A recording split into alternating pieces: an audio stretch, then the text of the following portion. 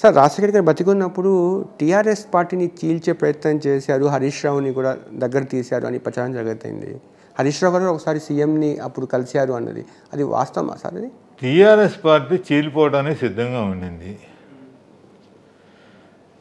హరీష్ రావు అనే అతను రాజశేఖర రెడ్డి గారిని యాజ్ లెజిస్లేటర్ కలిసేవాడు కానీ అతని కాన్స్టిట్యున్సీ రిప్రజెంటేషన్స్ కోసం ఎప్పుడూ అతను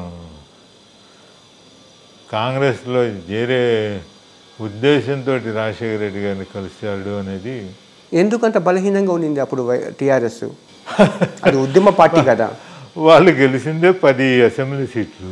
పేర్లు ఇప్పుడు చెప్పను కానీ డెఫినెట్గా హరీష్ రావు అయితే లేడు కానీ ఈటెల రాజేంద్ర అయితే లేడు కానీ ఆ విభేదాన్ని కాంగ్రెస్ ఎన్కాష్ చేసుకోవడానికి ప్రయత్నించింది అప్పుడు మనమే ఎన్కాష్ చేసుకోకల్లా ఆటోమేటిక్గా జరిగిపోతూ ఉంటాయి ఆ పరిణామాలు.